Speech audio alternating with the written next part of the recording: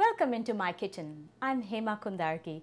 I'm here to share simple recipes which you can recreate in your kitchen.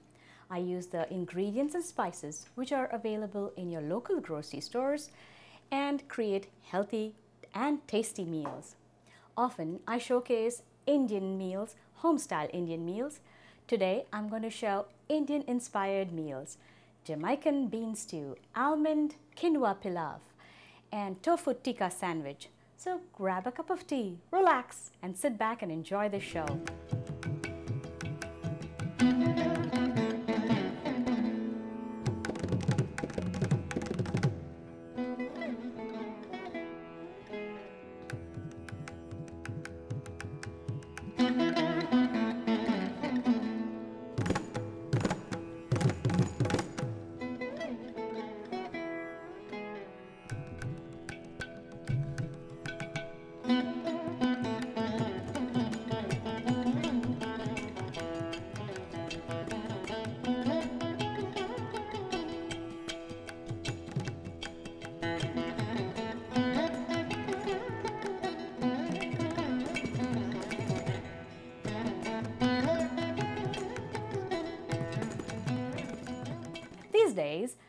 Everyone you talk to is on some diet.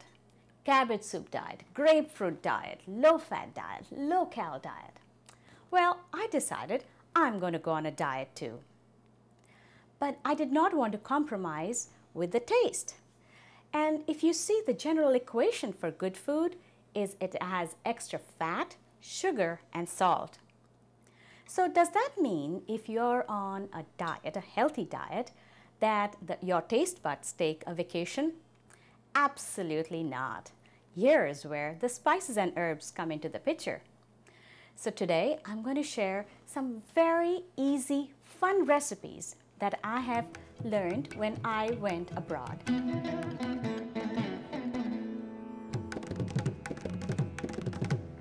So this first one we're going to start off is Jamaican bean stew.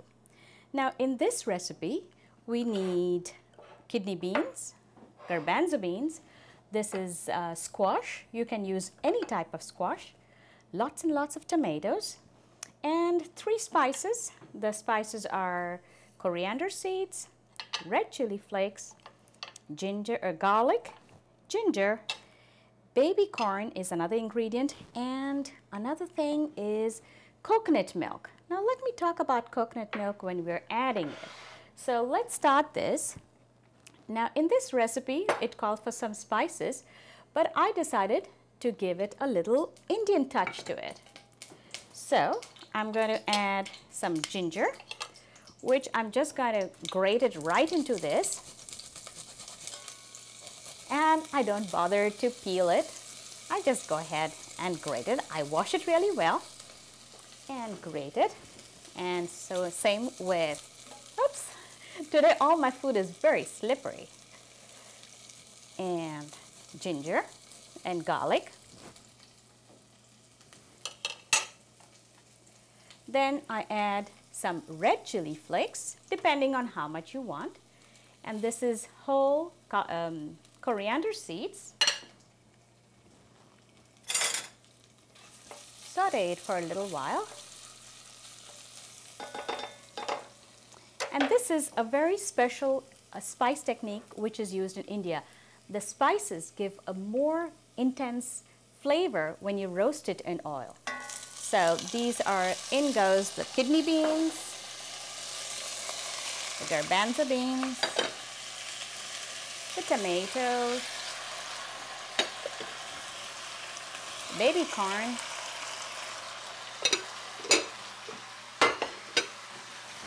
And one ingredient which really makes a difference in this is these pumpkins.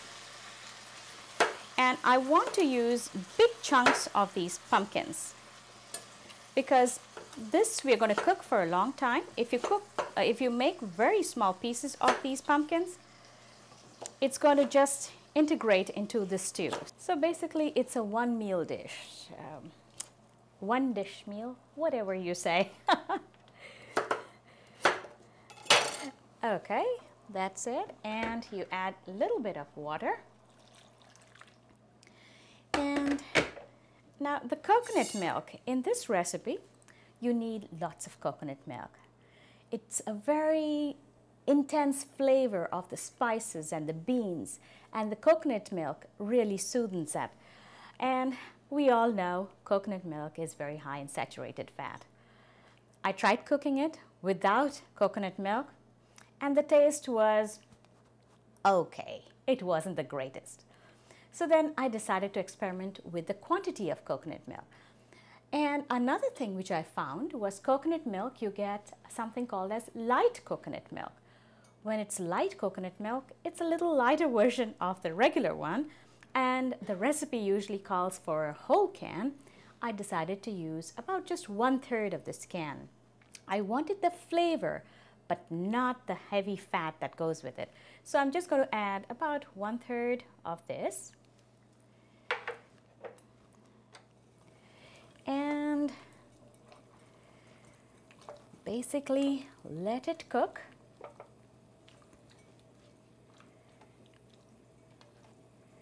Bring it to a big boil, high boil and add some salt.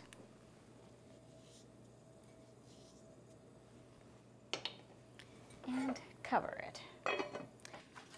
So after about 40 minutes of cooking, this is what it looks like. All the beans have been cooked. And I need to mention one more thing about the beans. When you use the canned beans, remember to rinse it at least three times in clear water. This is what a friend of mine who's a dietitian, Nancy Bugwadia, she mentioned that that takes care of a lot of sodium. It reduces a lot of sodium in the beans. So another healthy tip, rinse your beans at least three times in water. And the final thing I'm going to add is some black pepper. The black pepper gives it a nice zing to this recipe.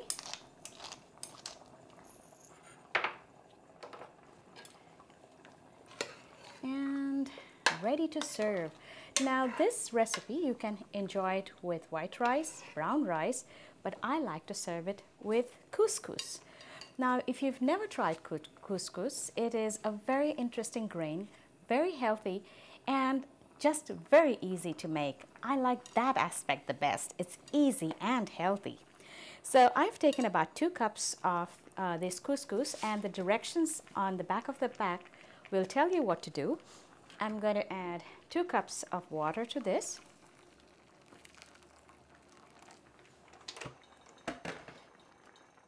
A little bit of salt and 2 tablespoons of oil and I use uh, olive oil for this and after that you just cover it with aluminum foil and keep it for 15 minutes. How simple can it be? Here is the couscous all ready And the way I like to serve this in a plate is I like to put it at the side and sort of make like a little edging for the stew. Well, I always feel before you eat with your mouth, you eat with your eyes. So make it interesting and especially if it's new food, take the time to do that. So go ahead and make a nice little boundary here of couscous.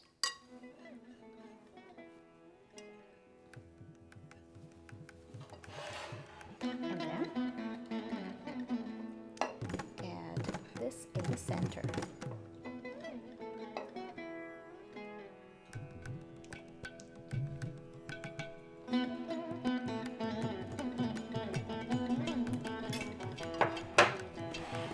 So here is a recipe brimming with nutrition. Very easy. You just added the beans, a couple of spices, nothing much to it.